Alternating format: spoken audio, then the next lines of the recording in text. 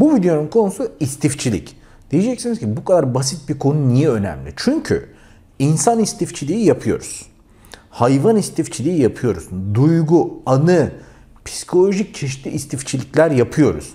Ama ilk önce çöp evlere dönen insanlar neden istifçilik yapıyor bunu göreceğiz. Ve bir şeyi çöpe atamama hastalığını göreceğiz. Psikoseksüel gelişim üzerine bir videom vardı. Buraya koydum aşağıdan da linkini alırsınız. O videoda size dedim ki Freud düşüncesine göre ya Sigmund Freud'un geliştiği felsefeye göre eğer ki bebeklik döneminizde tuvalet terbiyeniz sert, ağır bir şekilde verilirse ki buna anal fiksasyon deniyor. Siz ileride bir şeyleri atmaya kıyamayan, cimri, çöp evler yaratabilen insanlar olabilirsiniz demiştik. Peki bu Freud'un düşüncesi. Ben demiyorum Freud diyor biliyorsunuz. Peki şu an ekranda gördüğünüz insanlar, profesörler neden çöp evlerde yaşıyor? Yıllık maaşı gerçekten çok iyi olan bir insan neden villasında çöp biriktirir?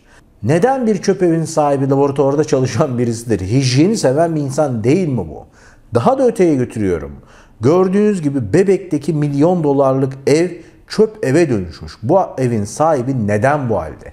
Ve hatta Cihangir'in göbeğinde 8 ton çöp bir evden nasıl çıkar? Peki hepimizde bu istifçilik bir şeyleri atmama var.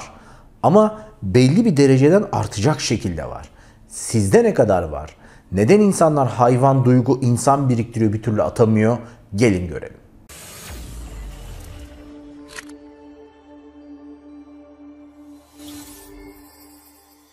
Hoş geldiniz. Şimdi sevgiliniz, anneniz, birisi siz evi taşırken yardım etmeye çalışır. Ya da odanızı toplarken hani bahar temizliği yaparsınız ya ya da sevgilinizden ayrılmışsınızdır. Bir atı, atasınız gelir böyle kankanızla evdeki her şeyi. Tam bir şey bulur atacak. Dur atma. Niye? Ya lazım olur. İşte o hareketi yaptığın zaman hayatına artı bir kalabalık getiriyorsun. Ve çöp kalabalığı getiriyorsun. Ama bu mu? Öyleleri var ki sevgilisiye ilk yemek yediği yerin menüsünü saklıyor. Ya da lisedeki arkadaşlarımızla hepimiz menü imzalamıştık. Ya menüyü niye çalıyorsun o ayrı hikaye ama yıllarca bunu saklayan insan var. Şimdi çocukluktan beri gelişen istifçiliğin iki sebebi vardır. Bir, herhangi bir fakirlik, maddi durum yetersizliği yaşayıp yarın ertesi gün biraz iyileşmiş halde olsa bile yine aynı hale düşebileceğini düşünmek. Yani yokluk var diye bir korkmak, bunu fobi haline getirmek. İkincisi ise çocukluğunda başlayan bir şeyleri biriktirme, bir araya getirme, benzer şeylerin daha fazlasına sahip olma, koleksiyon mantığın obsesyona dönüşmesi, biriktirmenin takıntıya dönüşmesi. İnanılmaz takıntıları olan insanlar var. İşte Elvis'in eşyalarını biriktiriyor, ne bileyim uzay yolu posterleri biriktiriyor, Harry Potter'ı bilmem nesi biriktiriyor. Barbie bebeklerle ev dolduran var. Yani bebek evi olayını 3 artı 1'e taşıyan adam var. Barbie'nin evi. O orada yanına sığışıyor Barbie'nin. Şimdi sizi 1900'lü yıllara götürüyorum. 1923 bizde Cumhuriyet ilan edilirken aynı yıllarda iki kardeşin, Collier kardeşlerin, Hammer ve Langley Collier'in babası vefat ediyor. 6 yıl sonrasında 1929'da da anneleri vefat ediyor. Bu iki kardeş bu iki depresyondan sonra evin kapılarını, pencerelerini çiviliyor, dışarıdan insan girmesini engelliyor ve çöp toplamaya başlıyorlar. Yıllarca çöp topluyorlar ve çöp toplamak öyle bir aşamaya geliyor ki 1947'de 18 gün arayla ölene kadar ki çöpün içindeki pislikten ölüyorlar. Tam 18 yılda 140 ton çöp topluyorlar. Şu an ekranda gördüğünüz ev onların ölümünden sonraki hali. Cesetlerine bile zor ulaşıyorlar. Neden biliyor musunuz? O kadar çok çöp topluyorlar ki çöpün içinde tüneller kazıyorlar ve tünellerden birbirine ulaşıyorlar. İşin kötüsü dışarıya çıkıp insanlara ulaşmak yerine dışarıya çıkıp sadece çöp topladıkları için ve dışarıdan da hiç yardım almadıkları için bu takıntıları sebebiyle açlıktan ve pislikten ölüyorlar. Şimdi sebebini anlatamayacağım kadar iğrenç bir şekilde maalesef cesetleri bulunuyor. Bunu araştırır öğrenirsiniz. Ama çöp ev olayının zirvesi Collier kardeşlerdi. Bu pisliğin içerisinde Homer 1933'te kör oluyor. Bundan 9 yıl sonra Langley ile bir röportaj yapıyor. Diyorlar ki evin yarısı diyorlar gazete. Niye bu kadar gazete biriktirdin? Diyor ki kardeşim gözleri açıldığı zaman onu okuyacaktım. Yani akli dengeleri de maalesef bir süre sonra gidiyor. Ev o kadar çöp yığını ki cesetlerden birinden diğerine ulaşmak 3 hafta sürüyor. Ve işin kötüsü bu evden 14 tane kuyruklu piyano çıkıyor. Röntgen cihazı, on binlerce kitap, otomobil şasileri, otomobil motoru çıkıyor da çıkıyor. Bunlara yakın Edmund Trabus var. 1918'de başlamış yaşamaya 2002'de vefat etmiş. Ve 83-84 yıllık ömrü boyunca bireysel anlamda en büyük Elvis koleksiyonuna ve onun yanında çöp evine sahipmiş. Hatta BBC kanalı bu adamın üstüne belgesel ve film yapıyor. Benim bu alanda izlediğim en ilginç program TLC kanalında. Evi çöp ev haline gelmiş pislik içinde yaşayan insanlar ile temizliği obsesyon, takıntı haline getirmiş insanları bir araya getiriyor. Ve o temizlik takıntısı olan insan çöp evi temizliyor. Ve izlediğiniz zaman gerçekten ilginç ve gerçekten şaşıracağınız şeyler ortaya çıkıyor. Burada öğreneceğiniz yeni bir kavram var. Adı Diyojen sendromu. Diyojen sendromu aslında toplumdan bir miktar artık keyif almayı kesmiş, cahil olmayan, sosyalliği de yaşamış ama kendisini soyutlamak isteyen insanlar da ortaya çıkıyor. Yani bir profesör neden çöpevi olur? Çünkü Diyojen sendromuna sahiptir. Artık insanlardan bıkmıştır. Ve bazı şeylerde kendisini avutur. O bizim çöp gördüğümüz şeylerde aslında o anı görüyor. Ne bileyim bir değer görüyor. Bazı insanlar bunu hayvanlarla yapar. Yani hayvan biriktirir ama onu konuşacağız. Dolayısıyla aslında Diyojen sendromu kendini toplumdan soyutlayıp sahip olmayla tatmin olman gibi bir şey.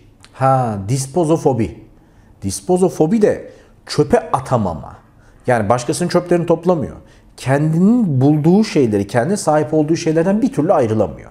1987 kışından kalma elektrik faturasını saklar. Ya bir gün sorulursa ya bir şey olursa ben sorumluyum der. Bunu babalarınızda dedelerinizde çok iyi görürsünüz. Evdeki dolabın üstünde hiç kullanmadığı ork vardır. Orgun da modası geçeli 15 yıl olmuştur. Bu adamın çekmecesinden Walkman çıkar düşün. Ve yatakların kanepelerin altı sığınak gibi doludur. Şimdi geldik istifçiliğin türlerine, çeşitlerine.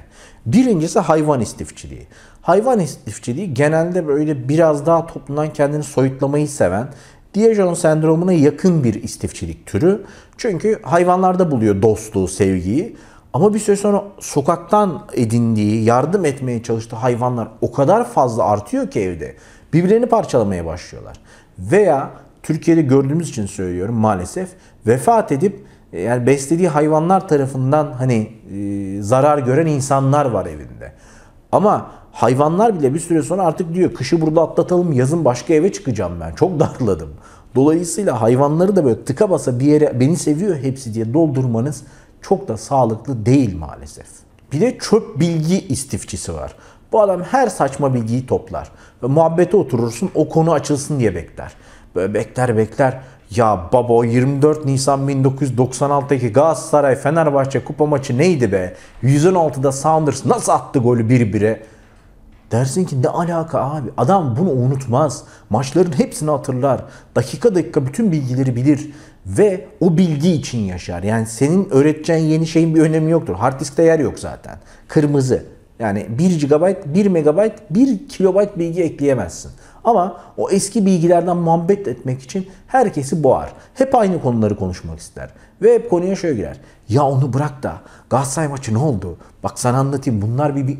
Yeter abi yeter yani tamam Galatasaray, Fenerbahçe, Beşiktaş hepsi güzel de o eski bilgilerle dünyanla yaşamak istemiyor kimse. Ve müşteri istifçiliği. Bu da bir manyaklıktır. Bazı restoranlar, bazı markalar çok umursamaz müşterinin bir daha gelip gelmemesine ve doldurur. Bunu mesela bu e, efsane cuma artık Black Friday denmiyor çünkü. Efsane cuma falan filan döneminde hepsi burada.com gibi siteler yaptı. Bak şimdi Hepsi buradanın yaptığı ve Türkiye'deki denetim açığından doğan bir şey göstereyim size. Herhangi bir şey seçiyorum. Efsane fırsat. Ne kadar? İşte %48 indirim var.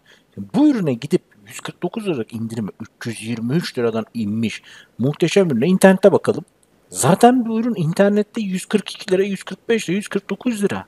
Yani sen bunu 323 liradan indirdiğini söylüyorsan insanları yanlış yönlendiriyorsun. Bu kadar e, saf yerine koymayın. E, saf insan istifçiliği yapmayın ne olur. Müşterileri fiyatları yükselttiler. Sonra güya düşürmüş gibi yaptılar bir gün sonra. Ve insanların siparişlerini ertesi güne vereceğini attı 2 aralığa, 5'e, 6 aralığa. Niye? Çünkü müşteriye verdiği hizmetin kalitesini önce tutmuyor. Önce ne kadar çok müşteri olur ona bakıyor. Ben bir lokantada oturum, restoranda oturum yemek yiyeceğim Fethiye'de. Ta karşıma bir tane Finlandalı birisini oturtturdular. Adam bana bakıyor, ben ona bakıyorum. Diyor ki sorun olur mu sizin için? E dedim olmaz koy gitsin köşeye de başkasına sıkıştır. Yani biz adamla aynı pilavı kaşıklıyoruz. Dolayısıyla müşterinin mutluluğu değil ya bir daha nasıl olsa görmeyeceğim. Doldur gitsincidir bu müşteri istifçisi. Ve dönemsel istifçi. Dönemsel istifçi o dönem popüler olan şeylere gider. Çünkü evinde onun havası güzeldir. Gerçekten sevenlere bir şey demiyorum ama bunların evinde mesela DVD kuleleri vardır. Kitaplık DVD doldur. Havalıdır çünkü güzel gözükür. Benim de istifçiliğim var. Kitap istifçiliği ki biliyorsunuz arkada Alfa'nın harika kitapları vardı koca bir set. O istifçilik devam ediyor ama benim artık 3 kütüphaneye dönüştüğü için evde buraya sığıştırıyorum. Arkamda gördükleriniz yeni istiflerim, yeni camlarım. Okuyup bitirdiğim gün sizle tanıştıracağım. Şu an yarısındayım merak etmeyin. Ve teknolojinin bize geç gelmesinden, adil kullanım kotasının olmasından, internet kafe kültüründen dolayı download istifçiliği, indirme istifçiliği internetten, Türk halkının gariban istifçiliği, ne bulursa download eder. Erotik yayında download eder, oyunda indir, hiç kullanmayacağı programı da indir, PDF indir, ne bulursa download eder. Hele ki komşunun Wi-Fi'ini falan yakalasın. Otel Wi-Fi'yi yakalasın. Hiç acımaz. Sabaha kadar açık bırakır download'u. Böyle son eme eme artık dibini sıyırır. Hani o tencere dibini sıyırır gibi. Dolayısıyla bunların elinde böyle 500 terabayt, gigabayt Lilolite mutlaka hard disk vardır. Yedeğinde yedeği vardır. Google bundan hizmet alır. Ya atladığımız bir şey var mı download etmediğimiz? Senden alalım baba diye hizmet verir dışarıya bu. Ve anı istifçiliği, duygusal istifçilik. Aslında bu videoyu ilk yaparken sadece bu bölümü düşünüyordum. Duygusal istifçilikti videonun adı. Ama bu, bu çok çirkin bir şeydir. Çok acınası bir şeydir. Hayatında mutlu olduğu 5-6 tane an vardır maalesef. Ve yenileri için hazır değildir. Asosyaldir. E, o sevgilisi olan anı düşünür hep. Arkadaşlarıyla olan anı. Ve sana hep bunu anlatır. Ya işte hiç unutmuyorum 2013 yılı. E, Stuttgart'tayız. E bak ömründe bir kere yurt dışına çıkmış. Sanki Stuttgart belediye başkanı gibi. Veya ah be o halı sahada ben var ya kral oynadım ha. Hangi halı saha abi? Abi 93 yılı. Ha manyak mısın? Üstünden geçmiş 15 yıl sen neyi hatırlıyorsun? Yani bu anılarla mutlu oluyor. Anlatabiliyor muyum? Bu da psikolojik mastürbasyon, duygusal tatmin. Çünkü yenisini yapmak istemiyor, yapmaya cesareti yok. Bir amaç paraşütü yapmıştır, ömrünün sonuna kadar onu anlatır. Torunlar dinler. Geldik insan istifçisine. İnsan istifçisi enfes bir olay. Sürekli yeni biriyle tanışır. Uçakta, otobüste yanına otursun. Merhaba ben Haluk. Mesleğiniz nedir? Bu. Nereye gidiyorsunuz değil. Çünkü her meslekten birini tanımak istiyor. Yarın lazım olur diye. Bu adam LinkedIn'in böyle yürüyen hali. Arı yetiştiricisi de tanır. Distribütör kapağı satan adam da tanır. Mutlaka doktor da tanır. Her şeyi tanır. Sen sor öbürünü tanır senden bir iyilik ister. Böyle bir network'ü çevirir. Ve bu adam mutlaka tanıştığı insanla ikinci kez işi yoksa bir daha hiç görüşmez. Ve geldik israf istifçiliğine. İnanılmaz derecede israfı seven istifçiler. Bunun en sevdiği şey sahip olmak. Dur yeni modeli çıktı, bir üst modeli çıktı, daha da üst modeli çıktı. Dur bu markanın hepsini al. Akıllı telefonun hepsini almam. Yan yana dizer. Dolabına git her rengi vardır falanca markanın. Hatta bütün markaların bütün kreasyonları, koleksiyonları vardır. 300 çift ayakkabısı vardır. Ya topu topu iki ayağın var. Ne yapacaksın? Ahtapot musun? Ve son dönemin artık manyak istifçiliği. Bu, bu Instagram sayesinde dikkatimi çekmeye başladı. Böyle bir, bazen birileri bir şey yazıyor diyorum ki bir siyasi, dini bir şey görüşü var manyak mı dedim bir göreyim ona göre hani cevap vereyim sonra kırmayalım kalbini. Bir açıyorum profilini selfie, selfie, selfie, selfie, selfie, selfie istifçisi. Adam gittiği her yerde 9 kare aynı şeyden çekiyor. Şöyle görüyorsun zaten. Ya hızlıca oynattın mı yani film oluyor. E video çek. Daha kolay. Selfie videosu çek. At biz hep beraber bakalım. Bu bumerang olayı var ya yani böyle yapamıyorum maalesef ama e, yapmak da istemiyorum. Bayılıyor ona kendisi. E kendin de bir gittiğin yeri de çek. Ha bazen hakkını yemeyeyim. Böyle mevtayla, hastayla selfie çekinir. Ya yani onlar vardır. Ya da bir hayvan, deli bir şey gördüm mutlaka yapışır. Dolayısıyla selfie istifçisi de sosyal medyayı çöp haline getirir. Çöp ev odur işte. Bir profil açarsın, bir fotoğraf açarsın 500 kare kendisi. Öyle iki tane ünlü var. Nasıl bilmiyorum denk geliyor böyle bir yerlerde resmi bir şekilde. Sürekli kendini çekiyor. Ben. Ben ve muhteşem bardağım. Bu arada bu istifçilik üzerine e, Citizen Kane, Yurttaş Kane diye bir film vardır. Güzel bir filmdir ama Sinema tekniklerini falan seviyorsanız izleyin yoksa 35. dakikayı görmeden bana söverek uyursunuz. Çok güzel filmdir Yurttaş Gang. Aslında hepimizde istifçilik var. Ama e, çekmecelerimizi bazen açmaya korkuyoruz çünkü içinden bir şey çıkıyor geri tıkıyorsun ya bir gün düzenlerim diye. Bazen dolapları açıyorsun ama korkuyorsun üstüme yığılacak diye. İstifçilik üzerine bir sürü saçma sapan atasözü var. Sakla zamanı gelir zamanı. Tamam fakirlik yıllarında doğruydu da artık o kadar da saklamaya tutumlu ol ama abartma. Atma abi bak lazım olur. Bak arayınca bulamazsın. Ya haklısın ama hiç kullanmadın. Akvaryumu yok. Adamın akvaryum içindeki taşları saklıyor. Sonra soruyorsun 12 kişilik yemek takımından annemde niye 9 tane var? Kraliyet ailesi bize mi gelecek? Dolayısıyla istifçilik ruhumuzda var. Türk halkının genlerinde var. Şimdi aşağıya lütfen yazar mısınız? Sizin gördüğünüz koleksiyon ya da istifçilik adına ne örnekler var? Ben Öykü Tatar. Bir sonraki videoda görüşmek üzere.